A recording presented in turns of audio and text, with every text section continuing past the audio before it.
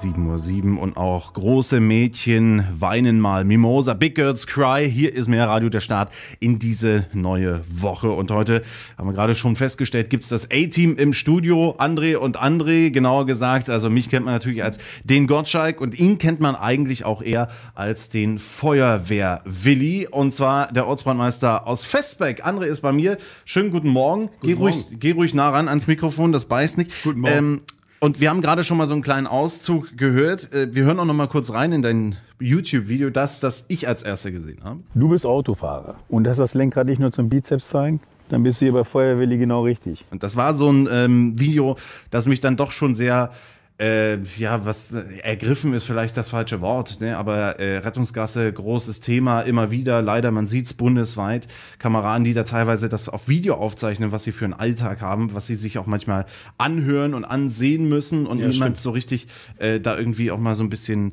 äh, auf der anderen Seite Verständnis für zeigt oder vielleicht auch die Rücksichtnahme.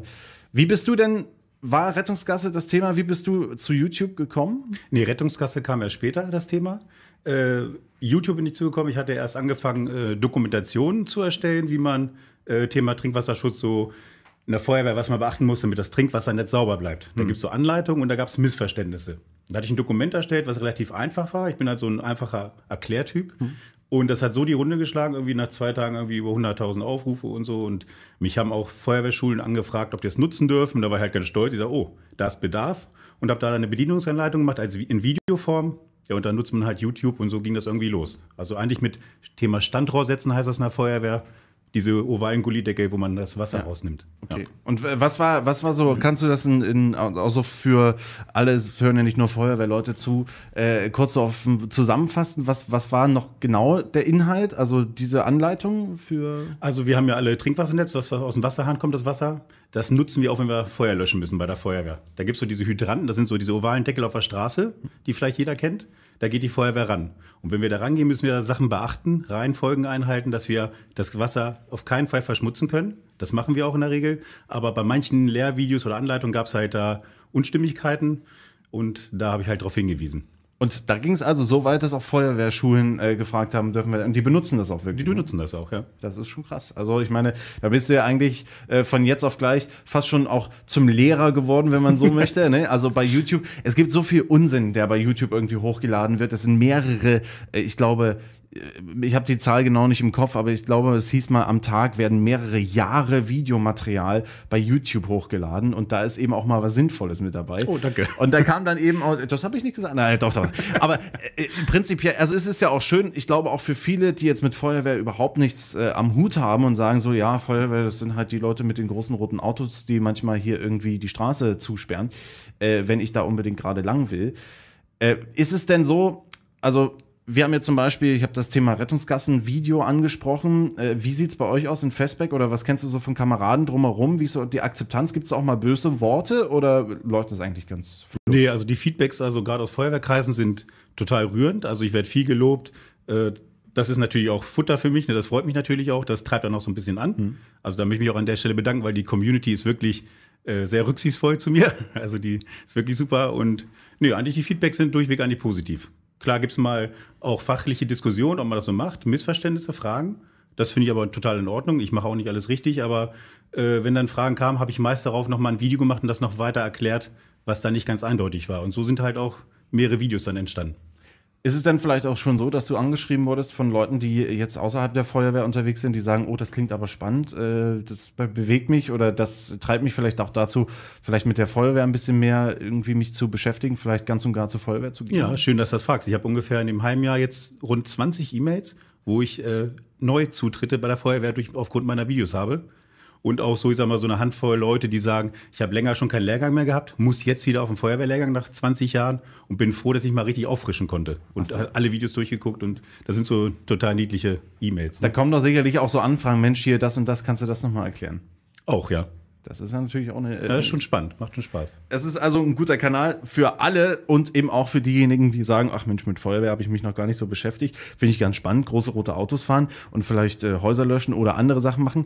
Äh, wir werden auch gleich noch mal ein bisschen näher darauf eingehen, was man bei der Feuerwehr vielleicht auch in Festback so treibt den ganzen Tag und äh, wie man vielleicht auch mitmachen kann und natürlich auf der anderen Seite, wie so der Alltag als Feuerwehrmann rund um Steinhuder Meer ist, gerade vor allem im freiwilligen Bereich, denn die freiwilligen Feuerwehren ist ja quasi das Netz, auf das wir aufbauen hier in der Region rund um Steinhuder Meer. Und das darf man oft nicht vergessen, dass da Leute stehen in ihrer Freizeit, die da wirklich äh, nicht nur ihre Zeit, sondern manchmal auch ihre Gesundheit aufs Spiel setzen. Ja, also, das stimmt. Reden wir gleich drüber. 7.16 Uhr. Einen schönen Start in diesem Montag heute mit dem Studiogast Feuerwehr-Willi aus Festbeck.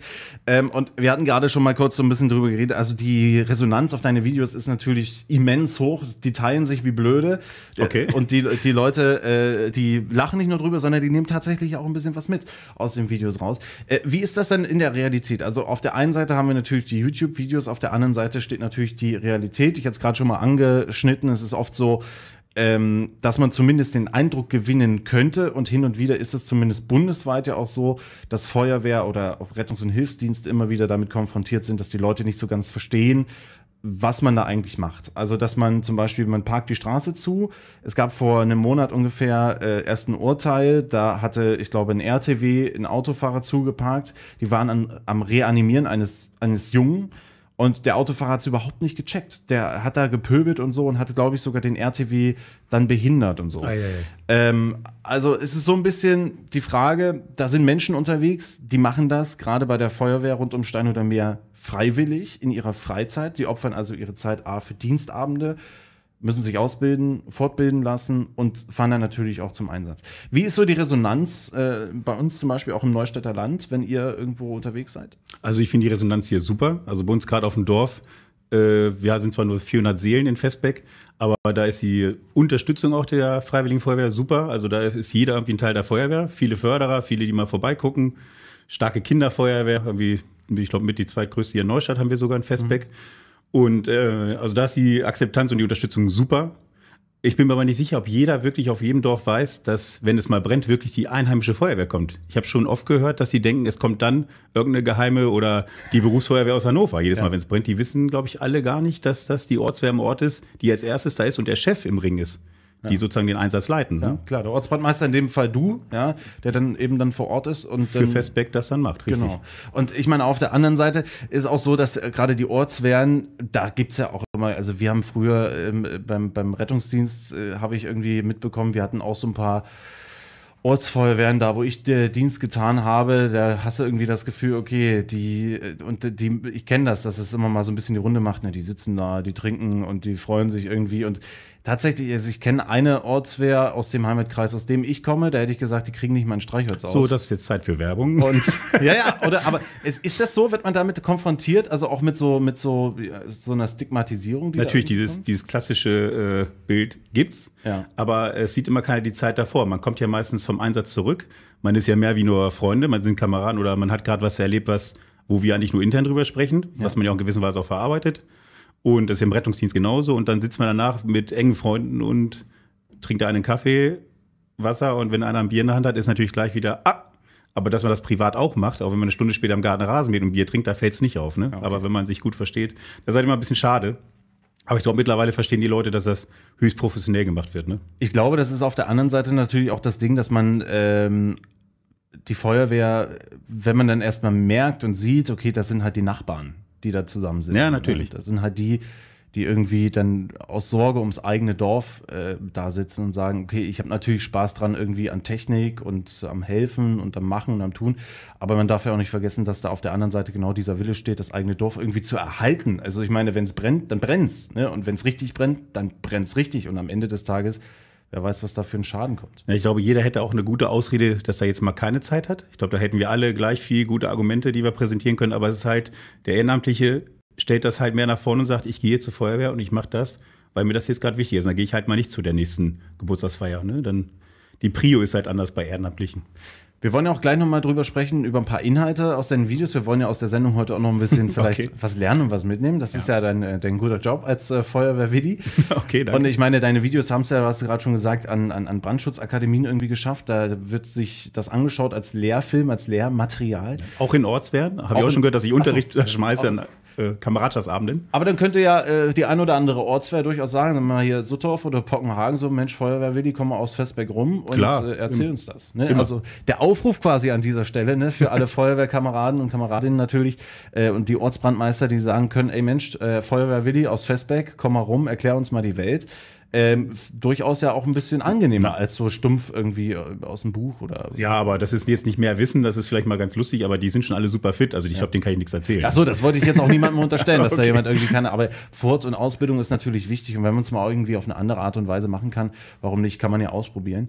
Und es scheinen ja Natürlich. auch einige zu tun, so auf der ja, anderen Seite. schon richtig. Also, also, also als Ehrenamtler hat man natürlich irgendwie ganz viel zu tun, äh, auch neben seinem Ehrenamt, aber auf der anderen Seite, du hast es schon gesagt, die Priorität sitzt da natürlich hoch. Jetzt klingelt sogar das Telefon, die ersten Fragen kommen schon. Also falls ihr Fragen habt, ne, 050 32 36 36 äh, oder ihr könnt uns auch ganz einfach schreiben, direkt ins Studio per WhatsApp zum Beispiel. Da gibt es die WhatsApp-Nummer bei uns im Netz auf mehrradio.de. Und äh, ja, wir gehen jetzt gleich mal ins Telefon rein. Und vor allem machen wir noch ein bisschen Musik für alle, die jetzt sagen, ach Mensch, jetzt hör mal auf zu sabbeln, ich will gerade meinen Kaffee trinken, ganz in Ruhe. Das kriegen wir auch hin. Dazu heißt es aber nicht still sitzen, sondern vielleicht ein bisschen bewegen. Äh, zu diesem Menschen hier aus der Schweiz. Das ist DJ Bobo und Everybody. Der Start in diesem Montag, 7.22 Uhr. Hier ist mehr Radio. Moin.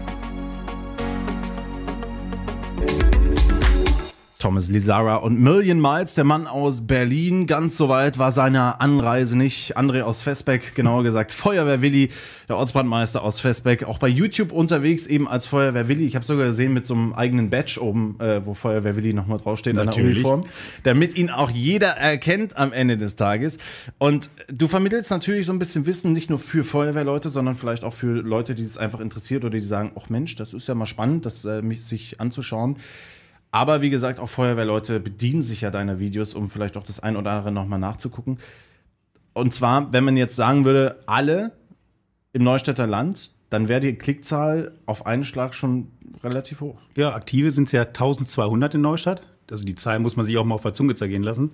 Bei 29 Ortswehren. Also da habe ich schon ein bisschen Mitgefühl, wenn der Bürgermeister mal Stiefel für alle bestellen muss. Da muss man halt auch äh, Verständnis haben, dass nicht alles immer so schnell geht, ne? Für so viele Leute. Das ist natürlich immer so ein Punkt. Ne? Also ich meine, klar, man kann schnell sagen, ah Mensch, wir brauchen dies, wir brauchen das, aber wenn 29 Ortswehren das sagen, wenn 1200 Leute sagen, Mensch, wir brauchen mal hier zum Beispiel eine äh, komplette neuen Satz irgendwie Uniform, der dann irgendwie, sagen wir mal, bei 1000 Euro liegt pro Mensch, dann kommt da schon so ein bisschen Geld zusammen. Ja, das stimmt. Also so 1,2 Millionen, das ist jetzt auch nicht wenig. Aber auf der anderen Seite, es gibt ja trotzdem immer wieder Probleme, mit denen auch die Ortswehren ähm, zu kämpfen haben. Was fällt dir da? Ja gut, der Klassiker ist natürlich immer Nachwuchs. Wir freuen uns immer natürlich, wenn wir aus den Vollen schöpfen können und wenn viele mithelfen. Ich glaube, die Akzeptanz der Feuerwehr ist gut. Ich glaube, da kann ich mir nicht mehr Unterstützung wünschen, zumindest in meinem Gebiet, dass man sagt, man wird voll unterstützt, was ich vorhin auch schon sagte. Also das ist super, bitte so lassen. Aber wie gesagt, die so neue Leute würde ich einfach die Scheu nehmen, einfach zu kommen. Und wenn jemand Angst hat, dann komme ich auch gerne mit. Das verspreche ich hiermit. Äh, aber die Leute sind alle toll und Kameradschaft muss man da erlebt haben. Also diese Freundschaft ist mehr als Freundschaft. Ne? Also es ist schon schön. Ja klar, man teilt ja vor allem auch viele Eindrücke, äh, die man äh, so im Einsatzgeschehen sammelt. Ne? Also auch durchaus Sachen. Wir haben uns gerade schon so ein bisschen off-air, wie es ja so schön heißt, äh, darüber unterhalten. Es sind natürlich Sachen, die einen so ein bisschen zusammenschweißen, wo man auch immer wieder sagen muss, okay, das darf man nicht vergessen. Auf der einen Seite natürlich, wenn man jemandem geholfen oder gar gerettet hat, im wahrsten Sinne, dann ist so ein Glücksgefühl, so ein erhabenes Gefühl, wo man sagt, Mensch, geil, und dafür machst Das du hält das. ein paar Tage an, ja. Das hält ein paar Tage an, tatsächlich. Äh, Ich kenne das aus dem Rettungsdienst, aber auf der anderen Seite gibt es natürlich auch die Sachen, die halt nicht so leicht sind. ne? ja, die man lernen muss zu verarbeiten. Ne? Also schon. Aber das ist natürlich immer so eine Sache, die man unter äh, den Kameraden dann bespricht. Nimmt man sowas auch mit nach Hause? Hoffentlich nicht. Also wir sind auch zum Glück so weit, dass wir auch eine Seelsorge oder Nachsorge haben. Auch in Neustadt eine super Unterstützung von der Kirchengemeinde und so weiter, die uns dann auch im Einsatz direkt besuchen, wo man sich auch vielleicht gemeinsam von dem vielleicht äh, Geborgenen verabschieden kann, auch mit einem Gebet und sowas. Also das hilft dann schon, sowas zu verarbeiten. Aber es ist zum Glück nicht der Alltag. Also äh, zum Glück ist sowas eher selten. Es sind ja meist doch die umgestürzten Bäume bei uns auf dem Land, im, Länd, im ländlichen Bereich ja. oder Hochwasser äh, im Keller oder sowas. Zum Glück diese Einsätze, die eigentlich recht angenehm in Anführungszeichen sind. Also das sind ja auch so Sachen, ich glaube, da ist manchmal die Vorstellung auch so ein bisschen, äh, bisschen anders. Ne? Also es ist ja nicht so wie im Fernsehen, irgendwann geht's immer heiß her und hoch her und dann hast du hier und da und da musst du hier zu dem und das. Und also es ist schon viel auch Routinearbeit, die aber doch dann immer so kleine Feinheiten bietet, die auch so ein bisschen herausfordernd sind. Ne? Ja, jeder Einsatz ist anders. Jeder Einsatz hat immer so eine Mini-Überraschung, aber ist ja auch irgendwie spannend. Ne? Also aber das kriegen wir schon alles hin. Jetzt haben wir äh, ganz zu Anfang, äh, hatte ich das Video kurz erwähnt, mit dem ich quasi eingestiegen bin in die Materie Feuerwehrwilli. Und Sehr zwar äh, das Thema Rettungsgasse. Äh, da sitzt du da, Sonnenbrille auf und äh, ja, die Ansprechhaltung so ein bisschen an die, an die Coolen eigentlich äh, appelliert. Die andere Seite vom Willi. Die andere Seite vom Willi, die, die coole, die Obermod-Seite, aber trotzdem sympathisch. Und die Frage ist ja, Rettungsgasse ist so ein Thema, beschäftigt euch das auch hier vor Ort im Neustädter Land? Oder? Na gut, die Festbecker Autobahn ist noch in Planung. aber wie gesagt, an sich ist das schon so, dass ich mich selber, auch wenn ich unterwegs bin im Urlaub und da ist ein Stau, ob es nun eine Baustelle ist oder nicht, man weiß es immer nicht, dass die Leute mal mitdenken, sagen, ja, da ist ja nichts. Und das finde ich immer gefährlich, diese Vorabentscheidung eines Nichtwissenden, ach, ich brauche jetzt keine Rettungskasse machen und das finde ich halt immer schade. Also da würde ich mal gern darauf hinweisen, manche wissen es einfach schlicht nicht, dass, es, dass man es so macht, auch wenn die gerade aus dem Ausland hier durchfahren. Mhm. Da muss man vielleicht auch mal ein bisschen Hilfe leisten und denen sagen, zeigen, fahr mal rüber und, und zwar nett. Ja, natürlich, das ist genau der, der Punkt. Man muss immer nett bleiben dabei. Aber es hat, sich, es hat sich in den letzten Jahren so ein bisschen was geändert beim Thema Rettungsgasse. Früher musste man ja schon anfangen zu rechnen, wie viele Spuren gibt es da. Muss ich jetzt nach links oder nach rechts fahren? Mittlerweile, und das habe ich jetzt äh, bei unserer kubanischen Nacht, äh, die wir hatten in Steinhude, äh, nochmal mit den Kollegen von der DLAG drüber gesprochen, die dann sagten, Mensch, rechte Handregel, das fand ich eigentlich ganz spannend. Kannte ich nämlich selbst vorher nicht. Von wegen rechte Hand, wenn man die so vor sich hält, der linke Daumen, also der linke Daumen, der Daumen der rechten Hand, Hand. Der zeigt nach links, das heißt also, die Spur fährt nach links, alle anderen nach rechts rüber. Ähm, ich sehe das auch, ich fahre auch viel Autobahn. Ne? Freundin wohnt in Hamburg, das heißt A7, das macht immer besonders viel Spaß mit den ganzen Baustellen und auch da staut sich immer wieder. Und bei mir geht's, also mir geht's dann auch immer durch den Kopf, ne? Du fährst irgendwie rechts rüber oder versuchst rechts rüber zu fahren. Wenn du in der Mitte fährst, ist es sowieso immer schwierig, weil die Leute so diese gedachte Linie auf der, die Linien auf der Straße irgendwie so als Mauer wahrnehmen und sagen, nee, da fahre ich jetzt nicht rüber. Ja, genau. Ähm, was denkst du, was wäre vielleicht eine, eine Variante, wie man das vielleicht besser noch so ein bisschen in die Welt kriegt, also auch in die Köpfe? Weiß ich nicht, ob man da vielleicht durch irgendwelche Plakate darauf hinweisen kann oder einfach auf Feuerwehrwilli verweist. Aber ich muss ja, ja sagen, ich war jetzt zum Beispiel bei den B6-Brückenbauarbeiten, muss ich sagen, da war die Rettungskasse wirklich echt gut. Also war ich positiv überrascht. Also da muss ich auch mal Lob aussprechen. Hier in Neustadt haben das die meisten ja verstanden. Ne? Ja, tatsächlich. Also ist mir auch schon ein paar Mal aufgefallen. Äh, Gerade, also Rettungsgasse ist ja kein Thema, allein für Autobahnen zum Beispiel auch alles, was mehrspurig ist. Ne? B6 ist ja nur mehrspurig, da muss also auch eine Rettungsgasse gebildet werden. Das ist nur ein Thema, aber du hast auch noch ein anderes Thema mitgebracht. Wir wollen natürlich auch mal so ein bisschen thematisch in so ein Video reingucken. T äh, Stichwort Kohlenmonoxidvergiftung haben wir auch jedes Jahr immer wieder eine Meldung, zum Glück nicht immer aus dem Neustädter Land, aber zumindest bundesweit immer wieder verschiedene Sachen, die da Aufsehen erregen. Leute, die irgendwie, wie auch immer sie auf diese Idee kommen, äh, in der eigenen Wohnung im Wohnzimmer anfangen zu grillen. Das ist natürlich ein Extrembeispiel, aber es geht auch noch anders. Aber das wird ein Thema sein und zwar gleich in knapp dreieinhalb Minuten nach Der Havanna mit Sinner geht es also nochmal um die Kohlenmonoxidvergiftung und vielleicht auch den Feuerwehrwilli privat gleich. Also 7.43 Uhr, hier ist mehr Radio und schönen Start in diesem Montag. Der Verwenner und Sinner, der Start in diesem Montag 7.47 Uhr. Heute mit dem doppelten André zumindest im Studio. André aus Festbeck, der Ortsbrandmeister, besser bekannt natürlich. Der Welt bekannt als Feuerwehrwilli. Der Welt vielleicht noch nicht, aber die Klickzahlen, die sprechen ja eigentlich für sich. Äh, du hast jetzt einige, wir haben gerade schon mal das Thema Rettungsgasse gesprochen, ein Thema, das uns auch immer wieder auch medientechnisch begleitet und auch beschäftigt. Bei uns im Neustädter Land durften wir feststellen, da sieht das eigentlich ganz gut aus. Auf den Autobahnen wird es immer so ein bisschen kritisch. Ähm, auf der anderen Seite, du hast noch ein anderes äh, Thema, fand ich auch ganz spannend. Ich glaube, das wissen auch die wenigsten Kohlenmonoxidvergiftung. Ja, genau. Also das, was wirklich eigentlich das gefährlich ist, wenn es brennt. Ja, also für mich eigentlich auch gefährlicher als das Feuer an sich.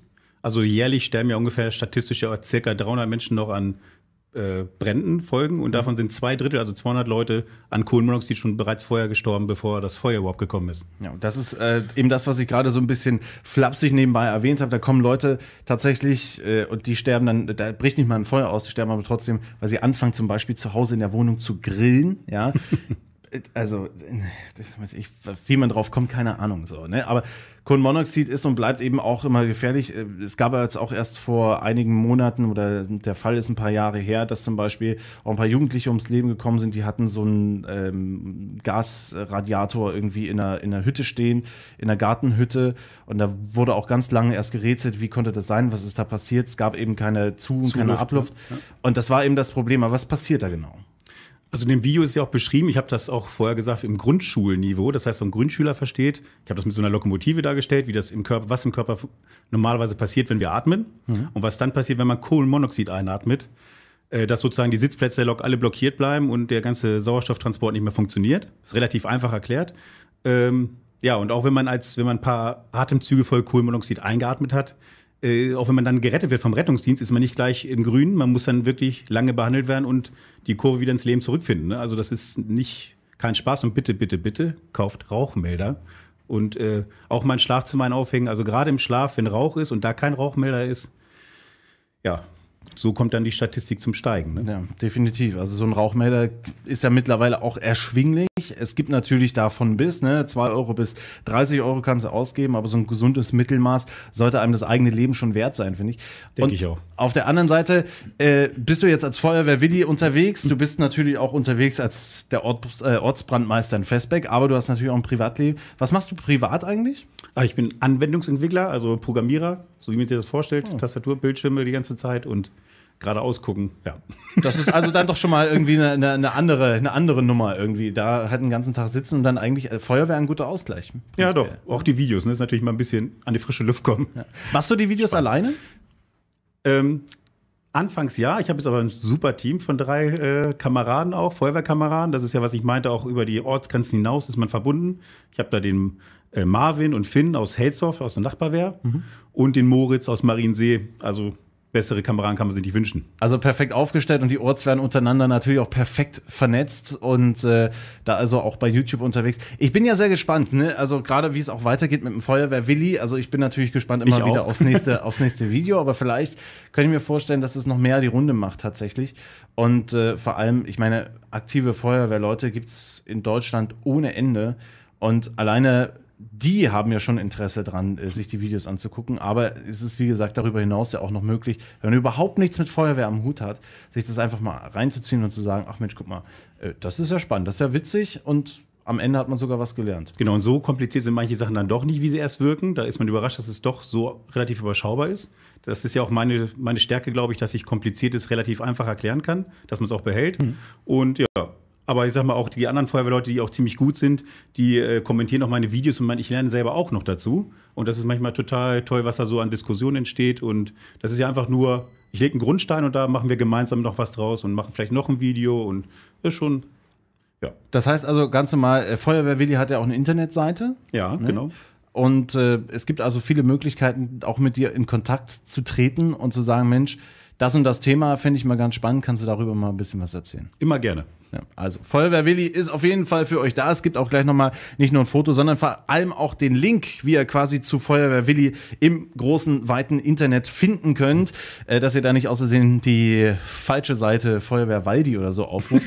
ne? Also wir verlinken ihn auf jeden Fall nochmal bei uns ähm, auf Facebook und äh, ich danke dir, André, auf jeden Fall, dass du da warst. Ja, Oder, sehr gerne. Oder Willi. Ne? Willi. Ich habe ja schon gehört, Willi ist auch dein, dein, dein echter Spitzname. Quasi, Ja, so- ne? also das stimmt. Können wir auch bei Willi bleiben. Meiner ist der Gottschalk, der Spitzname. So hieß ich auch schon in der Schule. Da hatte ich auch keinen Vornamen mehr. Ähm, also an dieser Stelle vielen Dank für deine Zeit heute Morgen zum Start in die neue Woche. Jetzt wird es ja wahrscheinlich gleich ins Auto und dann zur Arbeit gehen. Oder? Ja, natürlich. Ne? Also Ja. von daher schönen Gruß an deinen Arbeitgeber. Vielen Dank, werde ich Kannst- ausrichten. Kannst gerne öfter vorbeikommen und dann äh, unterhalten wir uns noch mal über ein paar andere Themen im Punkto Feuerwehr rund ums Steinhuder Meer und vor allem auch im Neustädter Land. Also ich möchte die Zahl noch mal kurz wiederholen. 1200 aktive Feuerwehrleute im Neustädter Land unterwegs, die also jeden Tag Gewehr bei Fuß stehen, den Pieper am Mann und sagen, Mensch, wenn das Ding losgeht, na, dann aber die Beine in die Hand. Und zwar ehrenamtlich und also in der Freizeit, ne? Also Genau. neben der Arbeit. Und zwar ehrenamtlich. Genau. Retten, löschen, bergen, Schützen. schützen. Ganz wichtig. Super. Also dann allen Ortswehren bei uns rund um Steinhuder Meer jederzeit gut Wehr und dir natürlich auch. Immer heile nach Hause kommen. Immer. Das ist sowieso das Wichtigste überhaupt. Also von daher, Gruß an die Feuerwehr. 7.53 Uhr, hier ist Meerradio. Schönen Montag.